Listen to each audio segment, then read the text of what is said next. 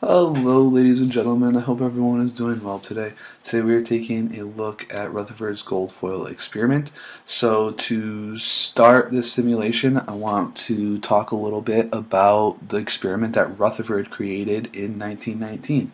So, to start, he has this thin piece of gold foil in the center. So think about aluminum foil, just instead of being made out of aluminum, this time it's made out of gold around this piece of gold foil, he has a circular fluorescent screen.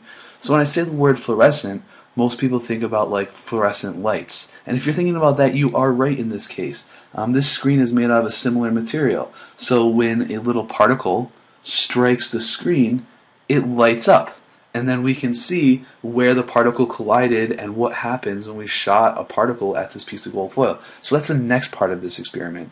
Is uh, Rutherford was shooting alpha particles at this piece of gold foil. So one thing that is hard to read is this symbol. That symbol means alpha. So we have alpha particles. One thing that's worth noting is alpha particles are made out of two protons and two neutrons. So this means that we have a positive 2 charge, and overall, our alpha particles are positive. That'll be really helpful when you're thinking about some of these questions later in the simulation. Um, so knowing that the alpha particles are positive, that will be a key component. Um, one thing that you can think about that might help you answer a few of these questions is think about magnets what happens when we put two positively charged magnets together or two negatively charged magnets together? What do they try to do? Do they stick together or do they repel? Answering that question will help you um, with the rest of the simulation. So, right now, we can take a look at this simulation and we can talk about a few things. The first thing that I want to talk about is so this square right here that I'm kind of highlighting with the mouse. That is your piece of gold foil.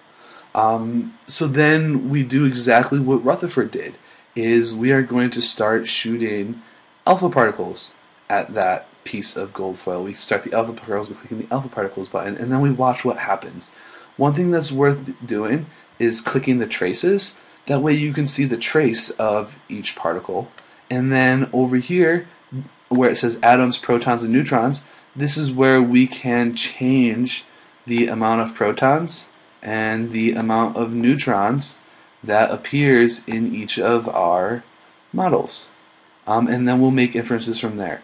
Um, the big difference between this simulation and Rutherford simulation is we don't have the fluorescent screen to watch the trajectory of the alpha particles that we shoot with the gold foil. Instead, we're kind of doing this like bird's eye view because we know what's going to happen.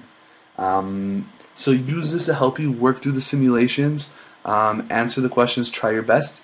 Um, like always, if you have a question, please write it down and bring it to class. Like always, I try to end these with a joke. What do you call it when Batman skips church? Christian Bale. I hope everyone has a wonderful day. I'll see you next class. Bye.